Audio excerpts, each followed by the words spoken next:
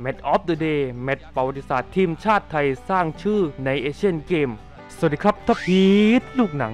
เมื่อวันที่ 14 ธันวาคม 2541 นะครับ ในมหกรรมกีฬาเอเชียนเกม ครั้งที่ 13 ที่ประเทศไทยเป็นเจ้าภาพ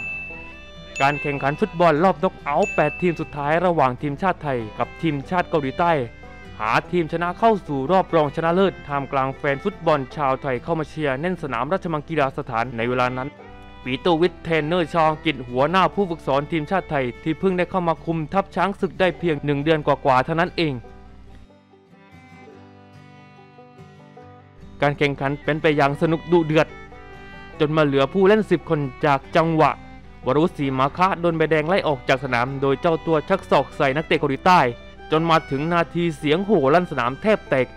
จังหวะฟรีคิกลูกนี้นะครับ สุรชัยจตุรภัทรพงศ์เปิดบอลเร็วให้ซิโก้ แรบขึ้นไปยิงจังหวะเดียว เข้าประตูไปลูกนี้นะครับ มาพร้อมท่าประจำตัวตีลังกา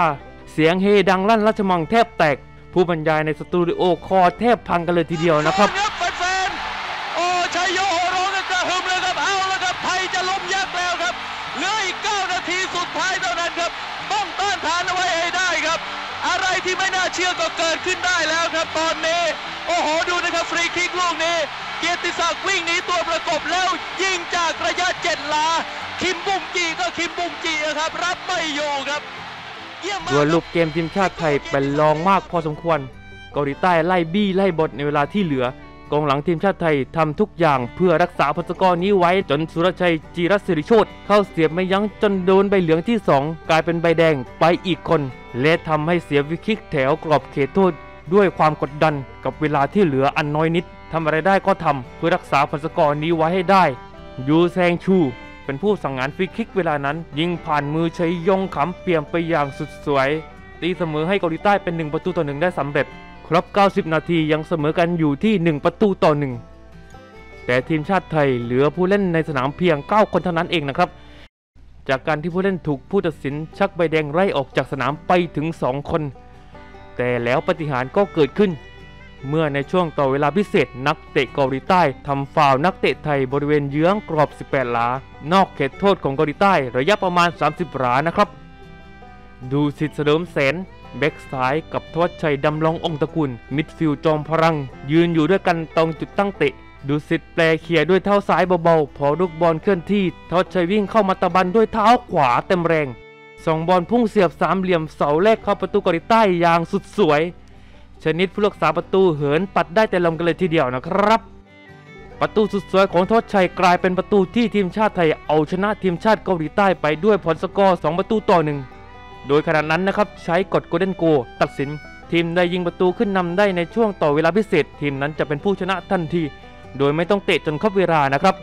ทีมชาติไทยทะยานเข้าสู่รอบรองชนะเลิศ ได้เป็นครั้งที่ 2 ในประวัติศาสตร์ฟุตบอลเอเชียนเกม สุดท้ายทีมชาติไทยก็ได้ครองอันดับทีสี่4 ในเอเชียนเกมครั้งไทยชนี้นะครับไทยชนะสองประตูต่อหนึ่งหลังจากเกมในประตูชัยจากธวัชชัยดำรงอ่องตระกูลในนัดเอาชนะเกาหลีใต้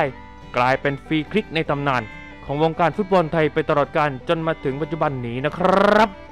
ท่านผู้ชมท่านใดที่ทันแมตช์ประวัติศาสตร์แมตช์นี้ ฝากแมนไลค์ความรู้สึกที่มีต่อแมตช์นี้ไว้ได้เลยนะครับ ดูและชอบใจฝากแมนไลค์ซับสไคร b ์กดกระดิ่งไว้ด้วย จะได้ไม่พลาดคลิปใหม่ๆของช่องท็อปพีทลูกหนังจริงๆครับลูกยิงของทศชัยลูกนี้สุดยอดครับสุดยอดคิมบุกจิหมดสิทธิ์นะครับบอลเสียบใต้คานเข้าไป โอ้โห เยี่ยมครับไทยทศชัยดำรงออกตระโกนครับ ลงไปแล้วเป็นซุปเปอร์ซับเป็นฮีโร่ครับ ลงไปในช่วงพดลงไปในช่วงก่อนหมดเวลา 7 นาทีครับ โอ้โห ไม่น่าเชื่อครับมานี่คุณถั่วแระเชิญยิ้มครับ เชียร์ลีดเดอร์คนหนึ่งของไทย ไทยเข้าสู่รอบ 4 ทีมสุดท้ายครับ มาเป็นวันที่ยิ่งใหญ่ของวงการฟุตบอลไทยอย่างแท้จริงครับ 9 คนครับชนะเกาหลีใต้ที่มี 11 คนได้ ผ่านเข้ารอบสุดท้ายฟุตบอลโลกมา 4 สมัยครับเกาหลีใต้แพ้ไทยในวันนี้ทั้งนั้นที่ไทยมี 9 คนเท่านั้นครับ เยี่ยมครับแล้วธวัชชัย ไปจับไม้จับมือแสดงความยินดีกับแฟนๆเอาธงไทยมาบอกเลยครับ โอ้โห นี่คือวันอันยิ่งใหญ่ของวงการฟุตบอลไทยครับ ไม่ว่าในรอบ 4 ทีมสุดท้าย